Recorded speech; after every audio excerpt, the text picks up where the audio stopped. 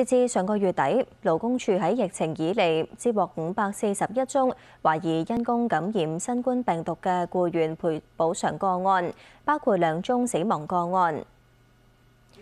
勞工及福利局局長羅致光回覆議員書面提問話，其中七十九宗確認係工傷，僱主需要承擔僱員補償責任，包括十一宗已經獲解決。另外有百幾宗個案，因為唔同原因，雇員撤銷或未有繼續索償，勞工處正係跟進剩低個案。羅志光亦都話，為本地確診面對經濟困難嘅合資格人士提供一筆過五千蚊恩恤現金津貼，現階段冇計劃擴展至獲發檢疫令或者醫學監察通知書等人士。